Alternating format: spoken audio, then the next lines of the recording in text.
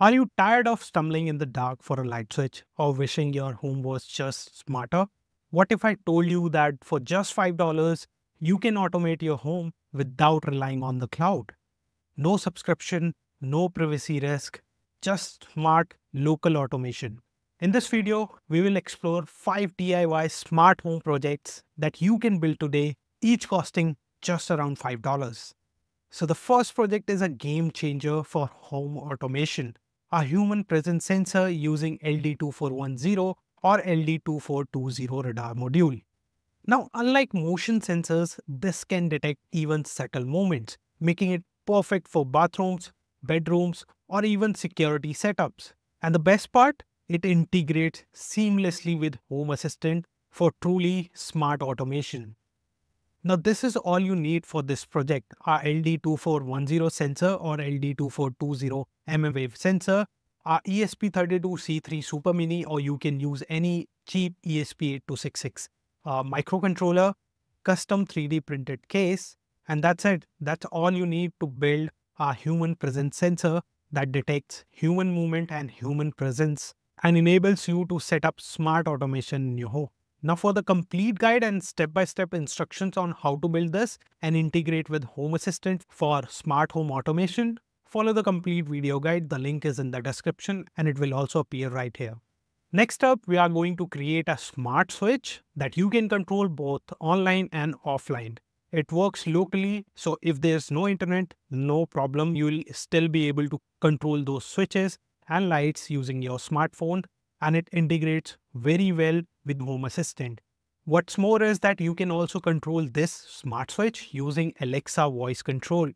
You can also integrate this with Siri using HomeKit and then control it via Siri. Watch the complete guide and step-by-step -step instructions on how to build this, you can follow the link in the description or again, click on this card. Now, once this smart switch is integrated with Home Assistant, you can do a lot more many things. You remember the human presence sensor that we talked about earlier? You can create automation based on those sensor values and control or trigger this switch to automate any appliance or device. The things you will need for making this smart switch is our ESP01 relay module, our 220 volt to 5 volt power supply and our 3D printed case, some wires and that's it. So go ahead, follow the link in the description and watch that complete guide to build your own Alexa voice control and locally controlled smart switch. Now next project is of DIY RFID smart door lock system. Have you ever dreamed of unlocking your door with a credit card or RFID tag? You must have heard it and you must have used it in your offices and you can build this for just $5.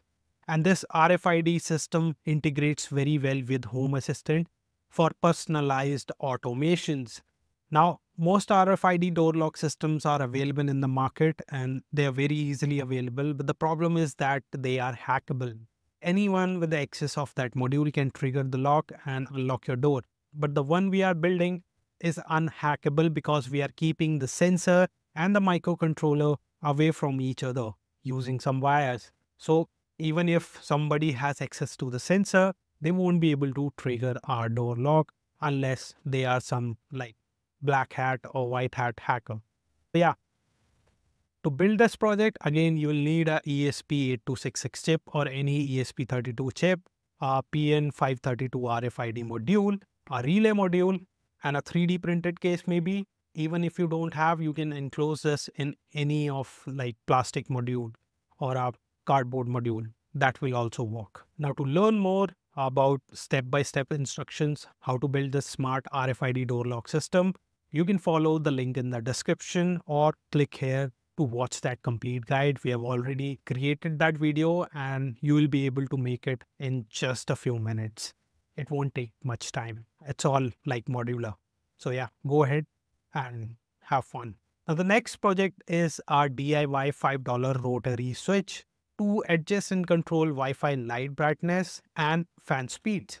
So if you want precise control over your lights, for example, if you have LED strips installed and you want to dim those, you can use this smart DIY rotary switch to fine tune brightness and even colors if you have smart bulbs or smart lights. which are integrated into Home Assistant. Now, most rotary switches that are available in the market are expensive and rely on cloud connections and work within that ecosystem. But the one we are building can control any smart light which can integrate with Home Assistant and they can be controlled locally without any dependency on the internet. Now, it's also perfect for the elderly and non-tech savvy individuals because this makes smart lights easy to use.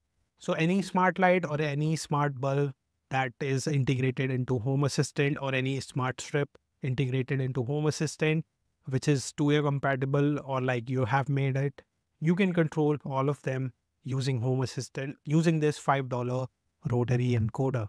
Now the things you will need for this is ESP32C3 Super Mini or any ESP8266 chip, a rotary encoder, this is very cheap, and a 3D printed case.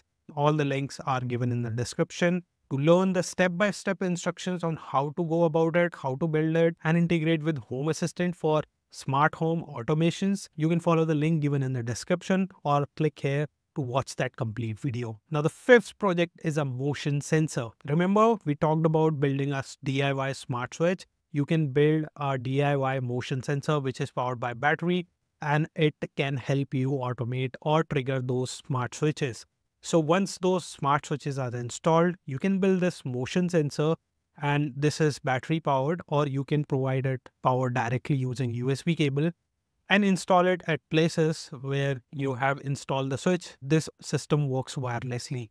So anyone moves around this sensor, the sensor senses that sensor trigger to Home Assistant via MQTT. It triggers the automation that we set up in Home Assistant. We have talked about this in detail in one of our video that we have already uploaded. So go and watch that video the things you will need for this is a ESP8266 module, a PIR sensor SR602, and a battery. That's all you need to build this wireless motion sensor that you can install at any place. This works for a month and more than that based on number of time you trigger it. Then you can easily charge the battery and connect it again and install it where it was.